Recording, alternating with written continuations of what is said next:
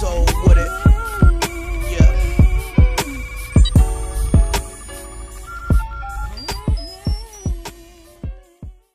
What's going on, everybody? D'Allan Rixx coming to you live with yet another video. So, Odell Beckham just recently did an interview where he was talking about how NFL players deserve to make NBA level money, and I totally agree with him.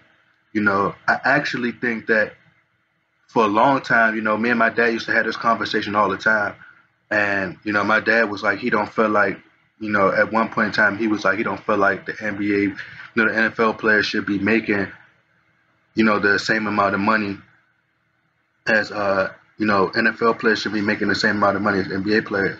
But I mean, it's a lot more riskier, and that's why I didn't want, you know, I said I don't want my kids or my nephews to, whether it's boxing or whether it's, you know, football, you know, any contact sport like that, I would rather them play basketball or rather than play baseball, you know, because it's it's less risk, high reward. You know, with football, you putting your life on the line every night. You know, contact sport. These guys, it's life or death out there. You know, you tackling players. You know, you might have equipment on, but you know, it's not. Come on now. You know, them guys should be getting paid way more money. Them owners are raping them boys out there. The money not guaranteed. A lot of them guys finishing their careers with, you know, brain damage and you know just things happening to them. So I totally agree with Odell Beckham, and it takes for you know somebody like Odell Beckham or Richard Sherman, you know, to really speak out. Even though I think he needs to dye his hair back black, that whole blonde thing, I'm not really with it. However, you know, um, I just totally agree with him. You know, a lot of NBA players, it's, it's even NBA bench players making money. You know, I said, and one of them, I got a song called "Rich versus Poor," and out in the song I say, uh, remember driveway days when I would always say that I would grow up in the, and make it to the NBA. But now I'm looking back thinking, what if I worked harder? Because now role players getting paid like they starters. Like that's that's true now. Like role players getting paid like starters. You know, and it's just crazy because the way the NBA is, these players probably don't even deserve the money.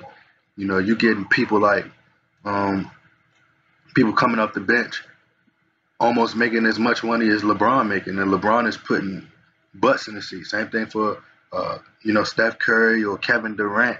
You know, you know when I seen Nicolas Batum contract, and I was like, come on, you serious? So you know, I totally agree with Odell Beckham. You know, them guys is going out there putting their life on the line every night. You know, very risky. Their money not even guaranteed like that. Like their money should be guaranteed. And I think my dad reason reasoning he was saying that he didn't believe that they, you know, shouldn't be guaranteed because it's not guaranteed that they're gonna, you know, get injured or, you know, if they're gonna be around. But the same thing with NBA. You know, a player could step on there and get injured the moment he's this this, this happened before. You know, it's been times where I mean, come on now, Kwame Brown got one of the biggest contracts and, and come on, bro.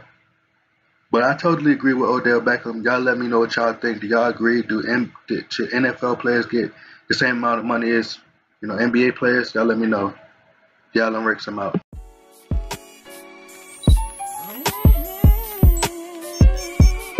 Look, from the soul with it.